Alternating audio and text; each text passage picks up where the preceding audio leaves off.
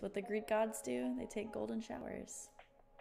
So where do you think golden showers came from and originated from?